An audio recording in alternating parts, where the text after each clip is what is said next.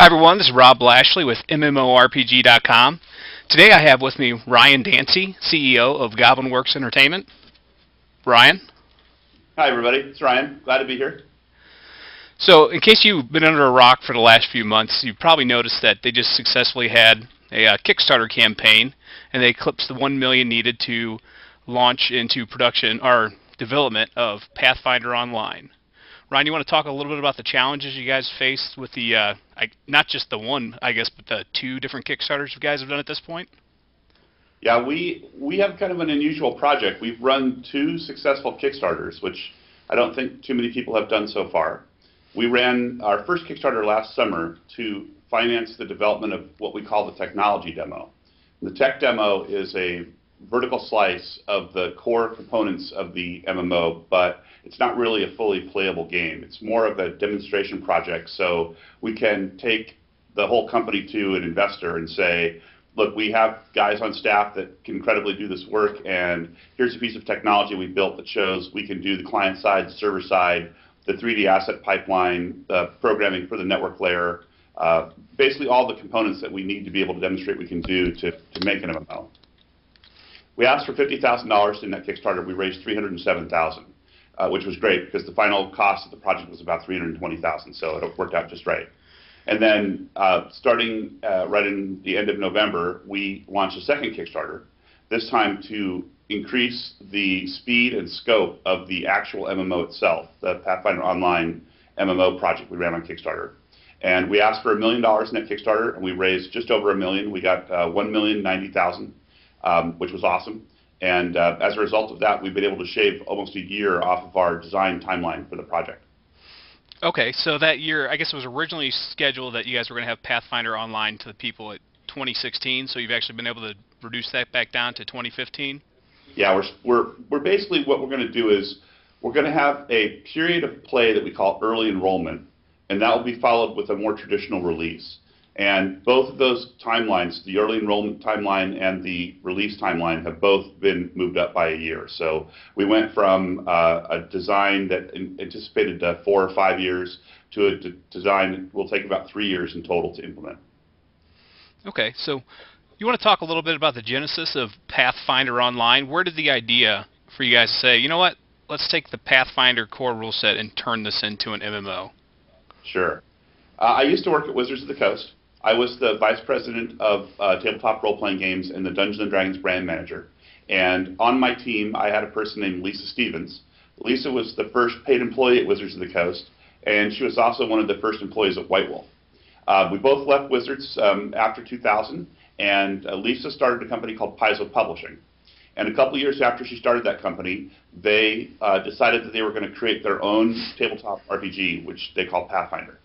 Um, and during the time that she was building Paizo, I was uh, running a couple of startup companies, and I ended up working as the chief marketing officer at CCP, the company that makes EVE Online. I left CCP at the end of 2010, and Lisa was one of the first people I called to talk to about uh, new opportunities. Um, she and I are pretty good friends, and we'd always been looking for an opportunity to work together. And I asked if she had had a plan for what to do with Pathfinder in the MMO space, and the response was that they had no plan and didn't really understand that space much at all. Uh, and would I be willing to come to Paizo and kind of give them a kind of a top level executive summary on the business and how it worked and what the costs and risks and opportunities were? So I did that, and uh, the Paizo team was pretty excited by the by the idea, and I was pretty excited by the opportunity to work with them and work with Pathfinder, which I think is a really great brand. So in uh, 2011, we spent a bunch of time working on how to do it and what kind of game to make and what should the financial envelope look like. Uh, and near the end of 2011, uh, Paizo was satisfied with that work, and we greenlit the project, and we've been working on it since basically the uh, end of 2011. Okay. What's one of the key ingredients in the Pathfinder universe that's going to separate this MMO from other traditional MMOs that are already out there that are in a high fantasy setting? Well, the most important thing about Pathfinder Online is that it's a it's a sandbox. Uh, we visualize the MMO space as having two major branches, theme parks and sandboxes.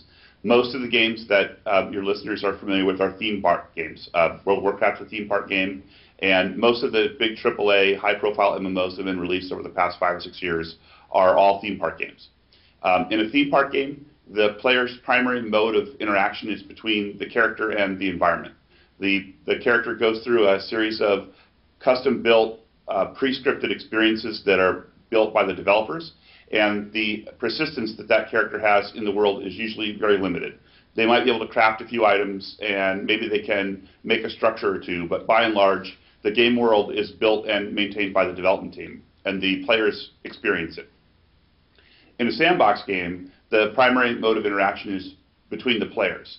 And uh, at GoblinWorks, our biggest design paradigm is maximizing meaningful human interaction.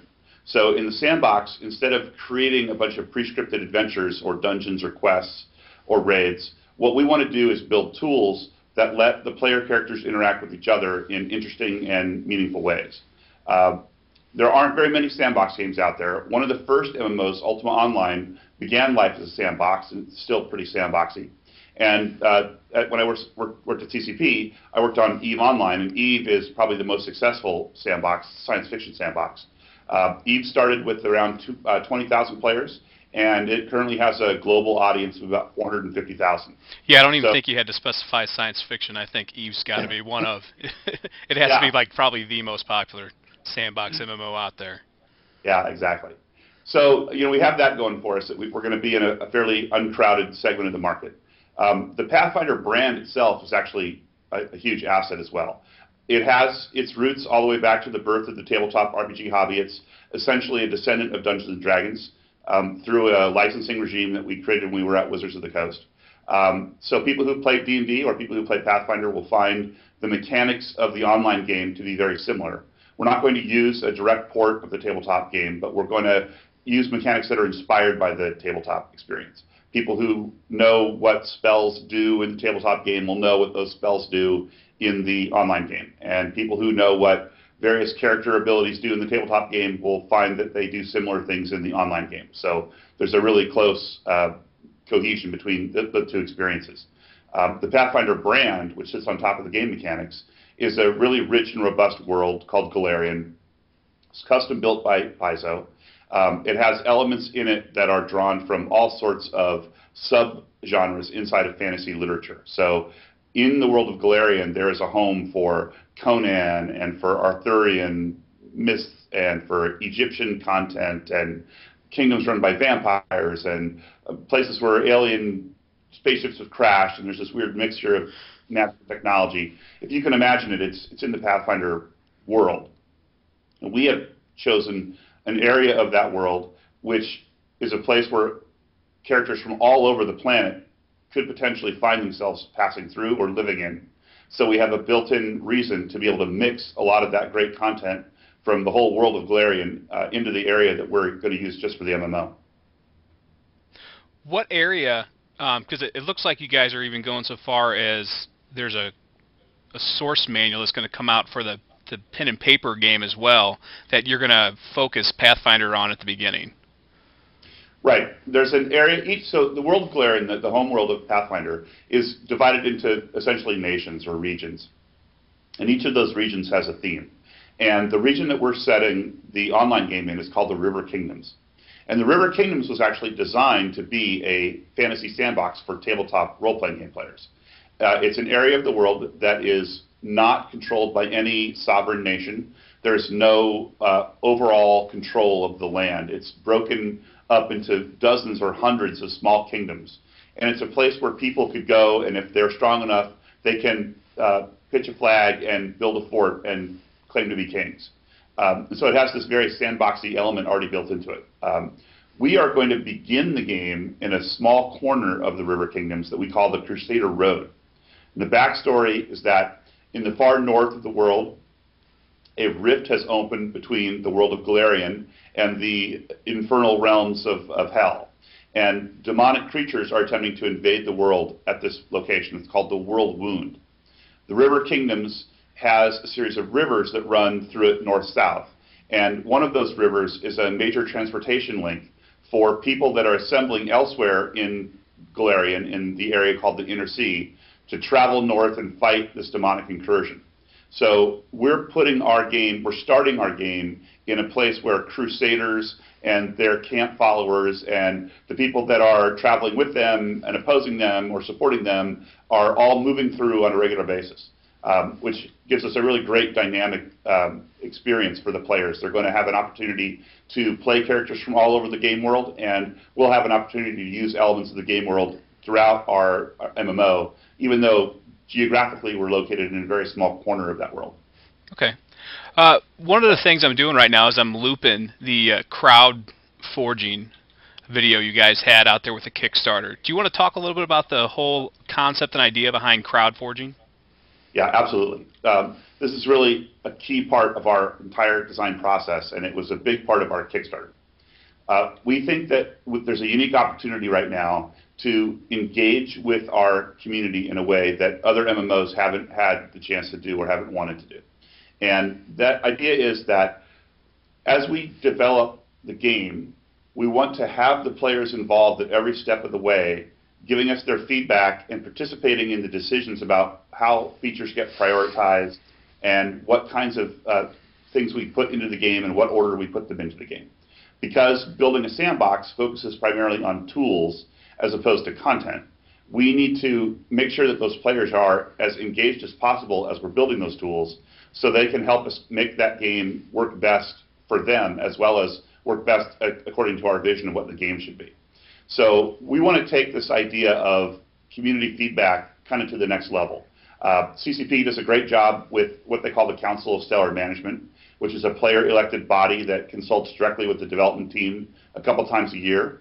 Uh, we're going to do stuff like that, but we're also going to look for as many other opportunities as we can to get the players involved in making really key decisions about how the game gets built.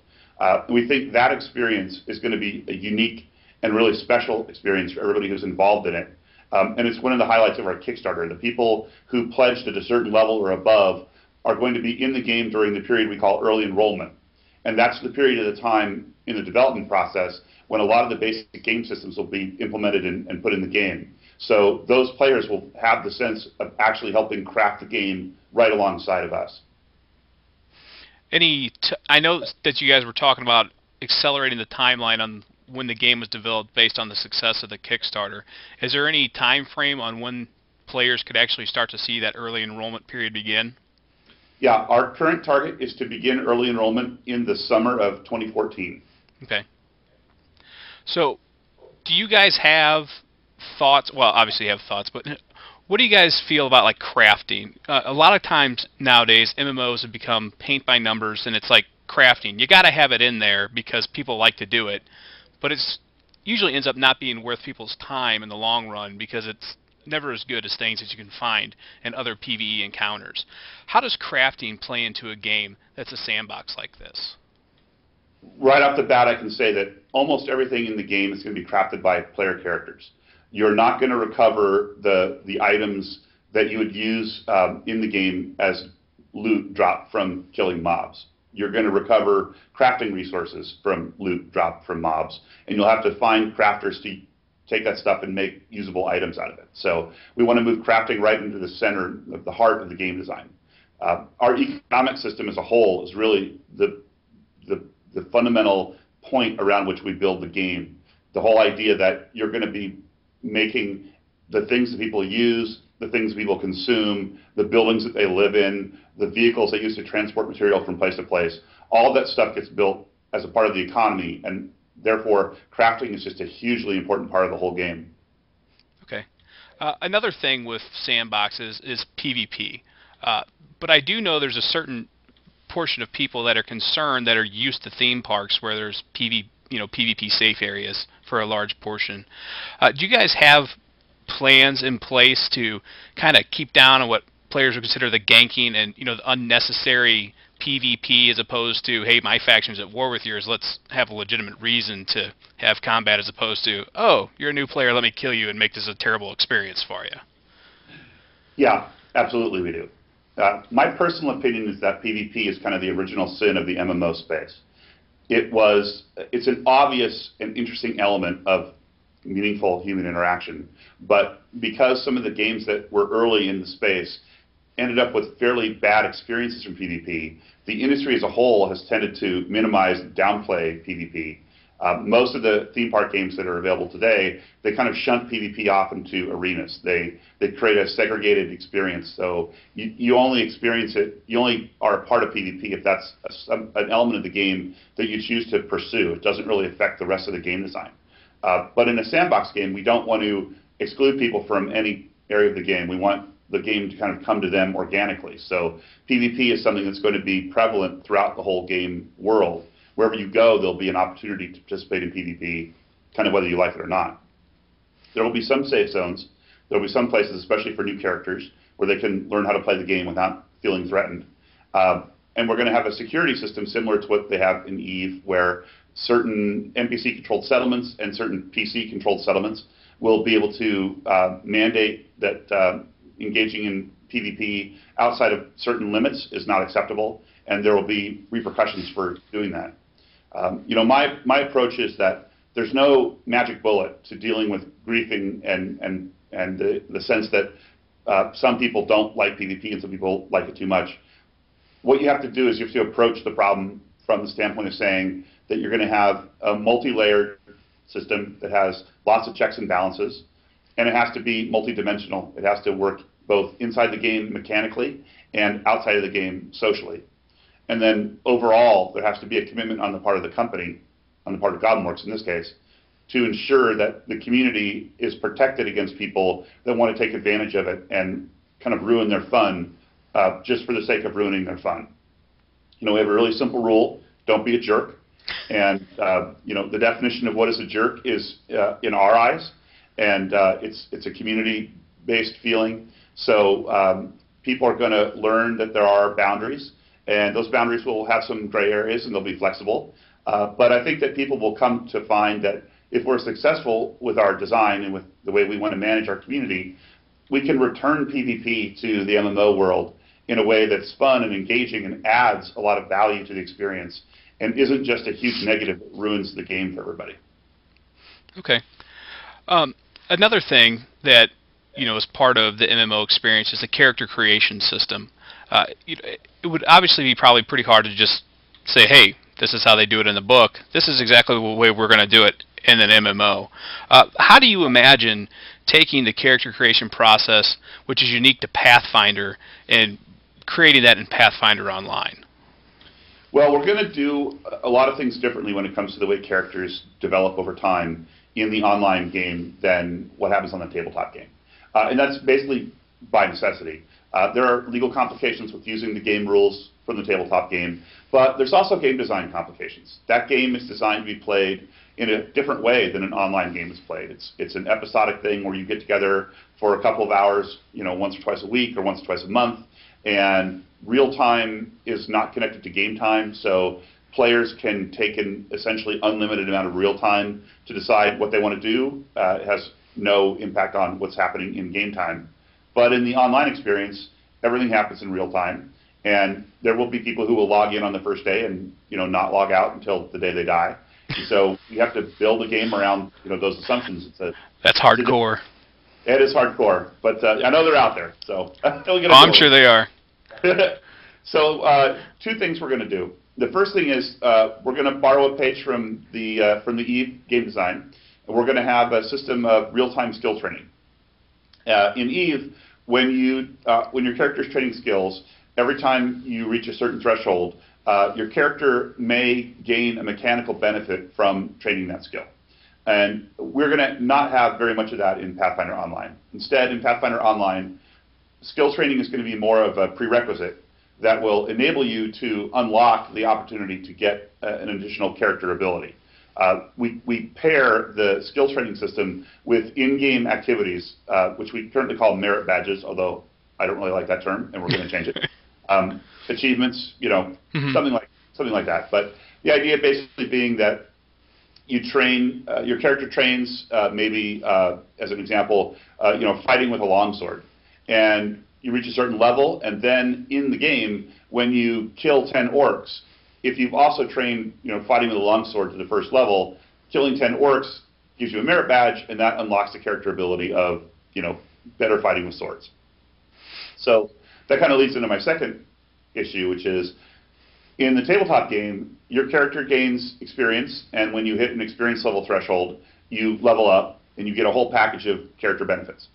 And in Pathfinder Online, we're going to invert that system. What's going to happen in Pathfinder Online is that as you're training these skills and earning these merit badges and unlocking these character abilities, at certain points, we're going to recognize that and say, ah, okay, you have advanced down a path, and we're going to commemorate that by saying you're now, uh, you know, level one in fighter, or level one in rogue, or level 15 in cleric, or whatever.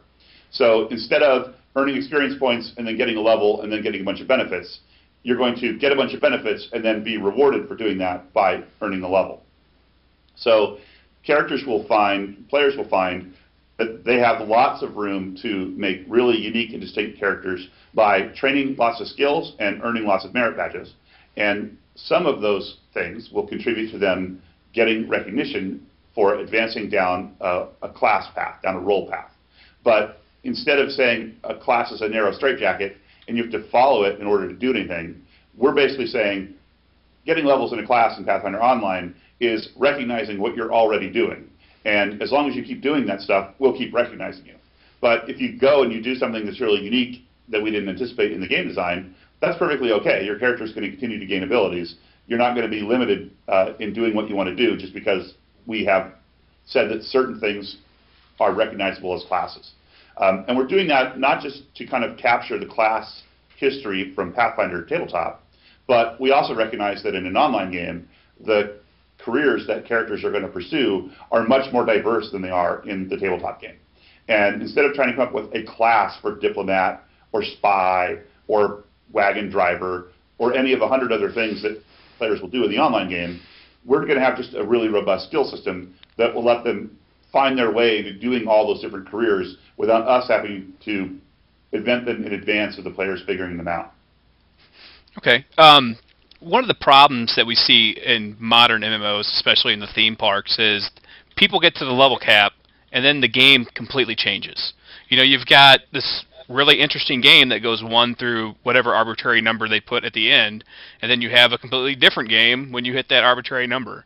Um, when will the quote unquote end game in Pathfinder begin, or will there even really be an end game? There really won't be an end game. The the the um, the background of the game is territorial conflict between player-run settlements. And those settlements will grow over time in complexity as well as numbers, and the territory that they're able to take control of and manage will grow over time. So the idea that you and your friends form a settlement and you carve your own little kingdom out of the wilderness and then you have to defend it, that is the basic gameplay. And as the game grows larger and gets more players, we'll just iterate continuously on that mechanic, continuing to make it interesting and add more tools and more ways to players to, to kind of meaningfully interact between settlements as well as between each other. Um, but there's not going to be a point where you have to completely transform what you're doing from one style of play to a different style of play just because you ran out of content. Okay. Uh, and back on characters, can I will there be like a cap to the things that people can learn? Could I be Rob the swordsman, Rob the cobbler, Rob the blacksmith, Rob the guy that likes to drive his own wagon from town to town sometimes? Or will I have to log off and make another person and be like Rob the blacksmith and Rob the cobbler? So uh, my answer is that you'll you could become Rob all of those things, but likely you will want to have Rob 1, Rob 2, and Rob 3. Okay. And so the reason is that because a component of your character's advancement is based on real-time passing, mm-hmm. the more real time that you dedicate to maximizing your uh, effectiveness in any one area is going to be offset by uh, any distractions, any any side paths that you take to kind of diversify your character. So it will be certainly possible to try to become good at lots of things in parallel, it will just take a very long time. But if you specialize in one thing and become really good at that, you'll be able to become as good as anybody else in the game at that one thing relatively quickly. So it's kind of a catch-up mechanic. It doesn't matter when you start the game.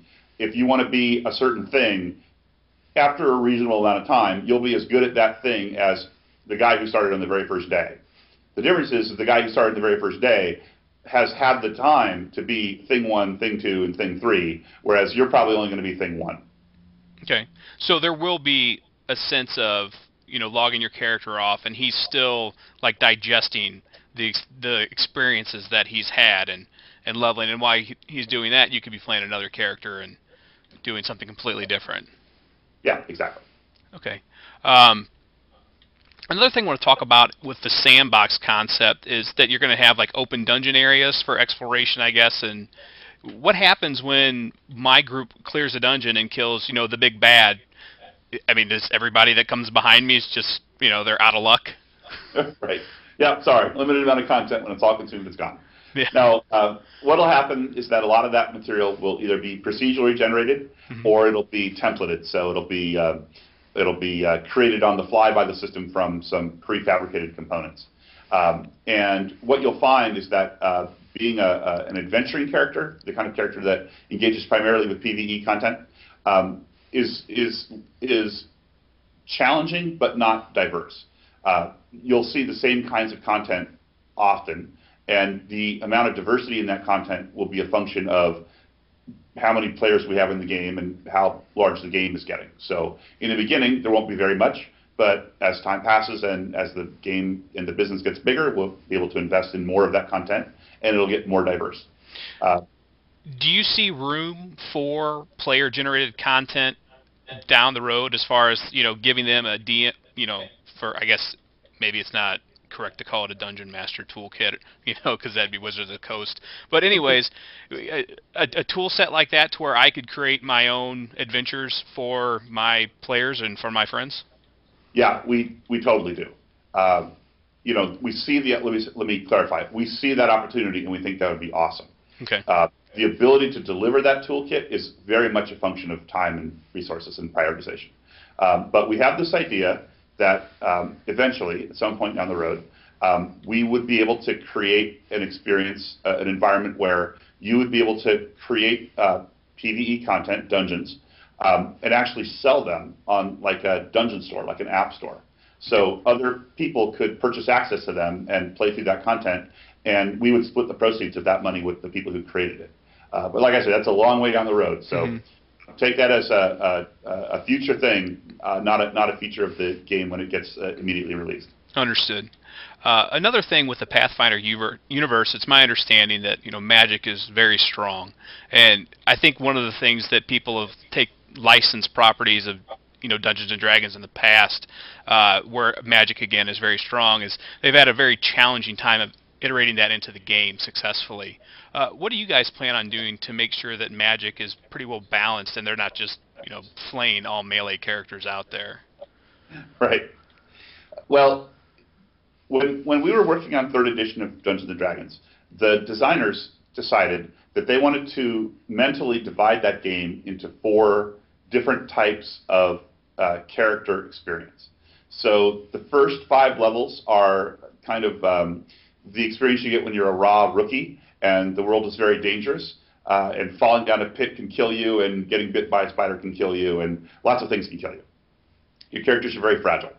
And then um, the second five levels, from level six to ten, you're a heroic adventurer. Your your character is able to take a couple of shots and keep on fighting. You're starting to expand the kind of resources that you've got access to, and you are beginning to unlock the interesting parts of the class archetypes.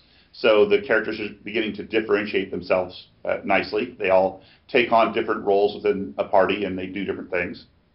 Beyond that point, beyond 10th level, the characters are more like superheroes, and then they become more like demigods. So we're going to focus Pathfinder Online in that in that power zone between sixth and tenth level. There will be a period of time as a new character when you're relatively fragile, but that period is mostly for learning how to play the game. It's not a period of time that we expect people to spend many, many, many hours in. It's, it's more of a tutorial type experience. Um, and then there will be essentially a hard cap on how powerful characters can get to keep the power level within that, roughly within that range of 6th to 10th level. Um, and when we look at the magic items and the magic spells that are appropriate for those uh, level characters, we don't find a lot that is really destabilizing and really dangerous. Uh, there are definitely some powerful spells in there and definitely some powerful magic items, and they'll have to be carefully balanced. But we're, we're not reaching into the really high level power of and reality altering and planar travel, uh, perfect knowledge through clairvoyance and the ability. If I got alien spaceships wrecking, why can't I be clairvoyant or interdimensional travel? Well, that's a great point. There's a there's a certain opportunity for you to be able to see more than your human senses can perceive. But mm-hmm. we also don't want a game where you instantly know the location of any character at any time and can teleport directly to that person without error, freeze that person in place, and then strike them with a holy bolt of power uh, before they can do anything. That's not much of a fun game. Yeah, that really wouldn't work out too well, I don't think. yeah, exactly. So, okay. Um, oh, I had another question for you there, and I, I lost it. Oh, one of the debates that's been kind of raging on the MMORPG.com forums lately has been tutorials and the value of them. You know, there are some games from the theme parks. It's like, come on, I've played this game like ten times already. This is just a new iteration. You slap some new paint. It, basically, it's the same thing. I don't really need a tutorial. Uh, but with Pathfinder being a sandbox, and we do have a very large sandbox community, but I think that you'll probably pull a lot of people in that are new to this genre. How how vast do you have to envision the tutorial being to bring them up to speed so they can kind of understand what's really going on? Well, one of the lessons I learned at CCP is the critical experience of uh, what CCP calls the new player experience. Mm-hmm. And it's not necessarily just a tutorial, it's a, a whole armada of information that you need to get into the hands of the player in a meaningful way without overwhelming them with minutia. And that's an incredibly challenging balancing act. Um, so when we look at our new player experience, we're going to be very careful to um, to present it in a way that players can skip it if they don't need it, if they're already played the game before and it's not going to be helpful to them. Um, or if they're interested in a certain aspect of the game, they can get a lot of information about that thing without having to get distracted by a lot of other stuff. So if the character wants to be a crafter, we want to make it really easy to learn how to be a crafter without also having to learn how to be a warrior or a teamster. Uh, but there's also a lot of kind of how do you play a sandbox game material that we need to present. Um, I really like the approach that many of the Rockstar games take. I especially like the approach that they took in Red Dead Redemption, um, where you really get a tremendous amount of information about how to play that game and how to find interesting things to do and kind of self-direct your character's experience without feeling like you've been put on rails and you're just taken from A to B to C. Uh, there's a tremendous amount of really good learning there that we're going to study and dissect and, and bring into Pathfinder Online.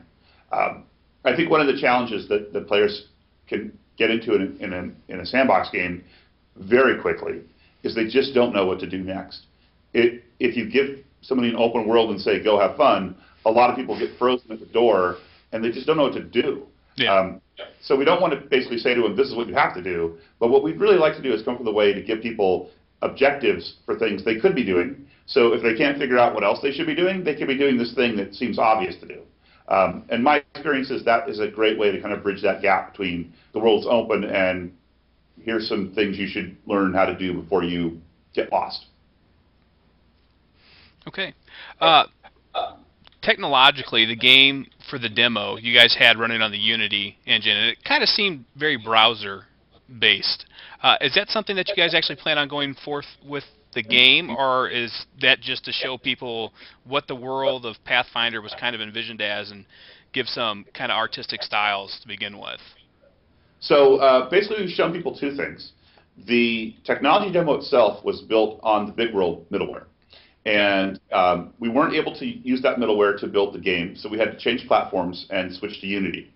And uh, we, we didn't want to rebuild the whole tech demo in Unity. We're, we're going to take those, uh, that, those manpower hours and spend them actually working on the game as opposed to working on the tech demo.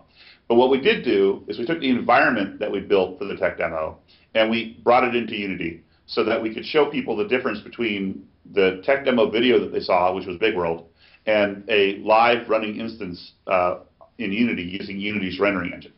And we were able to make that available as a web-based, uh, what we call the environmental experience. Mm-hmm. It doesn't really represent the way the game will be played. The game's not going to be played in a browser. It's going to be a client game like PC or Mac. Um, and there's nothing in the environment experience except trees and rocks and and a, a dungeon. Uh, there's no animated characters. There's no monsters. Um, so it was more just a way to show people, hey, we're making this jump to Unity. Um, by the way, we want you to see kind of what that looks like. Um, because we're devoting our development resources to working on the game, we're not going to update the tech demo, but we can show you this thing that we could do relatively easily that makes you feel comfortable that the switch to the, the new tool is we're not going to lose anything we would have had with the old tool. Okay. Uh, in the end, the game is going to look. Um, it, the game, the art style of the game is heavily influenced by the art style of Pathfinder, the tabletop game. So we look at the really great covers that Wayne Reynolds has painted, and a lot of the interiors that are in the Adventure Path books, and it has a certain art style that we really want to try and capture.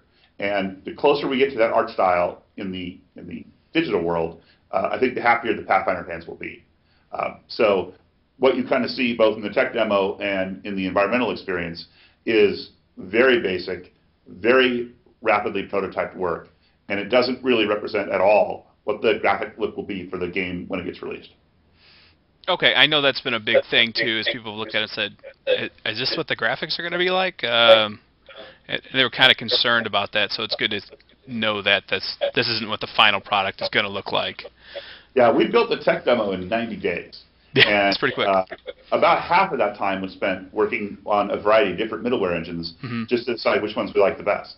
So, um, you know, it, it, may be difficult to understand if you're just a fan and you've never kind of been on on the other side of the wall, but um, you know, making graphics in a video game look good is not something that you do overnight or in a weekend. It takes months and months and months of really careful work um, and polishing and, and rework. Um, and so you don't get to a finished high quality graphic presentation for an MMO until you've spent a lot of time on the product. Um, and it, that wasn't the purpose of the tech demo, and so we're actually really happy with the way the tech demo looks. We, we think it looks fantastic, given the amount of time that we spent on it. I enjoy the concepts of it. It's just I we've seen feedback where people are were kind of taken aback. Like I don't. This is going to be on 2016. I hope this is really not what this is going to look like. So it's good to know that to hear it from you that if that was one of your main concerns in keeping you from taking a look at Pathfinder, that you really don't have anything to worry about because it's going to be a little bit better than that. Yeah, absolutely. So okay, um, I've got a people have been asking some questions here. If you don't mind, I'm going to go through sure. the go chat ahead. and see if anybody's got anything that we haven't asked already.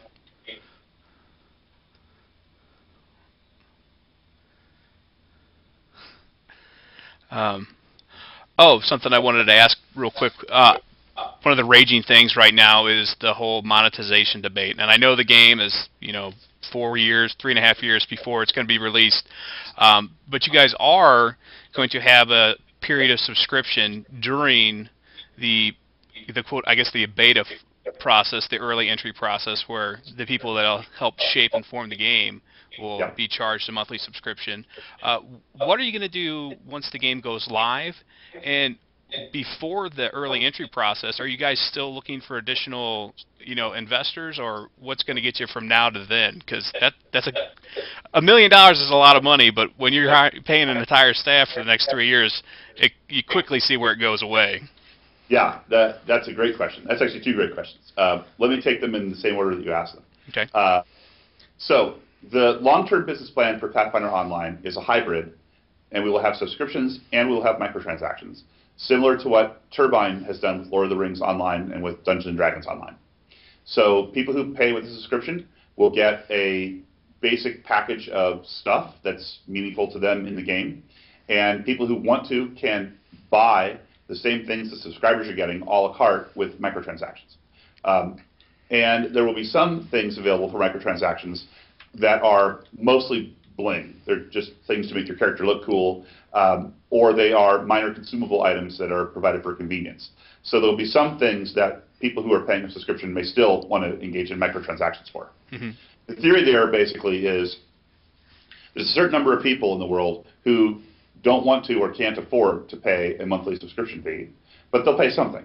Mm-hmm. So if you give them the opportunity to pay a la carte via microtransactions, they can find the amount of money they want to spend on the game that's appropriate for them without being forced into a one-size-fits-all answer.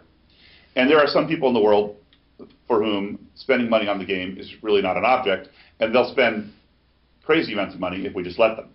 And so we want to create opportunities for those people to give us the money, um, and in turn we want to give them some really cool stuff. But we don't want the stuff we give them to be mechanically unbalancing. We don't want people to feel like they can buy win. Um, during early enrollment, we're going to begin early enrollment with just subscriptions because building the microtransaction system and the elements that go into microtransactions is the kind of thing that's going to happen during early enrollment.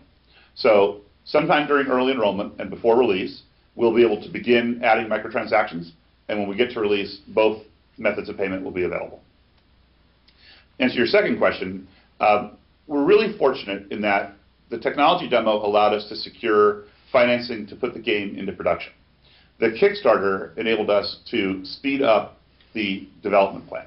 So the amount of money that's going to be spent on Pathfinder before we take in uh, the first dollar of money from subscribers in early enrollment is going to be a lot, many, many millions of dollars more than a million dollars. Mm-hmm. Um, we are considering taking in additional investment, although we are not currently talking with anybody seriously about that.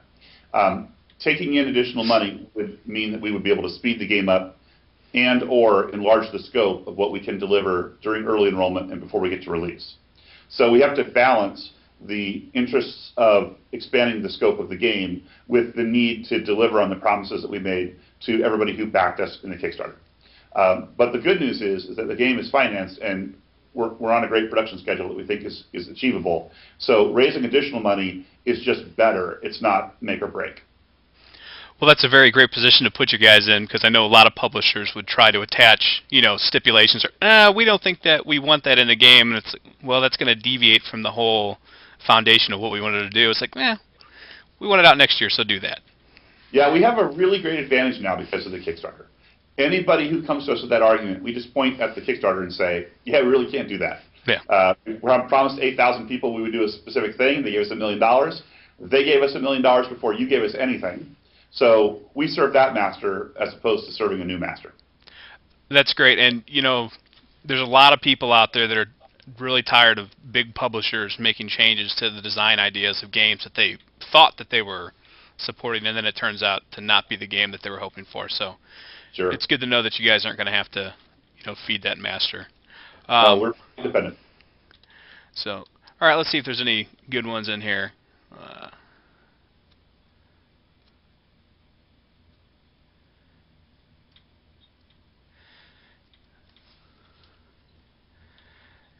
so I guess here's one. Uh, what do you guys plan on?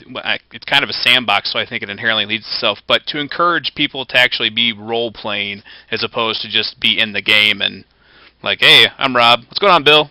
You know, what are we gonna do today? Uh, so uh, that's a great question, uh, and I guess I have a couple of different answers. Uh, the first answer is that in most theme park games, you don't really have a chance to play a role. What you're usually playing is a um, kind of predefined walking stat block uh, that's optimized for a very specific thing. You know, the, the Trinity concept. Yeah. Uh, you know, you're not a paladin or, or a barbarian or a ranger or a fighter. Uh, you're a guy who does DPS or tanks. Mm-hmm. Um, not a lot of great role playing there. In the sandbox experience, what you do in the game is essentially role playing. So if you are robbing caravans, then you are role playing being a highwayman. And if you are defending caravans from robbers, then you are role playing a caravan guard. It happens organically as a part of the way the game develops. But we're really sensitive also to the idea that we have a lot of fans who would like to uh, bring elements of the whole uh, Pathfinder world uh, into Pathfinder Online. They'd like to be have their characters be from a certain region or express uh, allegiance to uh, pantheon of gods or to transnational organizations. Um, and we want to enable that to the degree that we can. As with everything in Pathfinder Online, it will start small and grow larger over time. But we're really sensitive to the idea that somebody wants to be able to say, you know, my character is from this part of the world, and I'd like to have appropriate clothing and appropriate skin color and appropriate hair color and maybe an appropriate title uh, and possibly some relationship outside of the game to an NPC or an NPC organization that reflects my concept of where my character is from. Really want to enable a lot of that to happen. That's a, that really uh, brought to mind something that I noticed during the Kickstarter is that you rewarded backers at a certain level uh, with like you can be from a certain area, you can have a certain backstory. We're going to put this marker on a road, you know, that kind of Right. you know is in honor of you. Is there Right. really going to be is there going to be incentive for other players to go and find those markers to be like, hey, you know, this is pretty cool. This guy from did this, and let's go hunt down the rest of them and, and see where they're at, just as kind of little Easter eggs. Yeah, I think we'll, we'll, there'll be more than Easter eggs, actually. I think that they may become uh, organically important to, uh, to that whole concept about um, following a, a, a class archetype or a role. So, uh, you know, if, if you want to uh, become a great cleric, uh, it might become necessary for you to find all of the mementos in the game world that represent the deeds of famous clerics, as an example. hmm So that would be one of the many things you might have to do on the road to, you know, gaining clerical power is uh, seek out the monuments and read the text and learn about those those people. Um, so yeah, I think it'll be a it'll be a big deal, um, at least in a fun way. If it, if it becomes onerous and if people are telling us they don't like it, Yeah. you know, we, we can always make changes. But uh, you know, I played a lot of City of Heroes, and uh, I really remember when the achievement system was first added to City of Heroes, and a big part of it was traveling through the zones and finding these little memorial plaques and learning about the backstory of City of Heroes. It was a lot of fun. I had a little checklist I kept next to my computer, and I was constantly trying to find these things so I could qualify for these various achievements. I think people get into it. It's it's kind of like stamp collecting. They there's a certain mentality of I found five of these things. I know there's ten of them. I need to find the other five, um, and that's fun. So it's it's not like we're burdening people with something they don't want to do anyway. Yeah, I, around those same ideas, the Tome of Knowledge that was in Warhammer Online, I think was a, a pretty interesting idea. I don't know how well it ended up working out, but where it would open up and explain lore about different things based on objectives that you achieved. So Yeah, I love that. I thought that was one of the best elements in that game. I think it's fantastic. that was probably my favorite feature of the game. That and the public quest. So. Yeah, of course. yeah. Um, just trying to get through some of these. Some of them were like, will there be any discoverable items like rare magical swords of dragon slaying? But you know, I think we've kind of talked about most of it was going to be through crafting. But are we going to find one-offs like that that would make people want to go out there and hunt the rare bads that are terrorizing the towns? I think it's more likely to say that if you want to create a sort of dragon slaying, you may need to wrap its hilt with leather obtained from the hide of a dragon. Okay. So you will absolutely be incented to go find the toughest monsters in the world and kill them, uh, because the stuff you get from them is going to have really high value to somebody, and maybe to you. All right. Well, we're starting to run towards the end of time. I really appreciate you coming and answering our questions about Pathfinder Online. Um, Yep. So, again, this will be up on the site tomorrow. So, if anybody wants to rewatch it and make sure to check your answers, it'll be out there for you. Uh, and make sure to keep an eye on MMORPG.com for all future and upcoming news on Pathfinder Online. So, thanks for joining us, Ryan. It was great to be here. Thanks for having me. You're very welcome.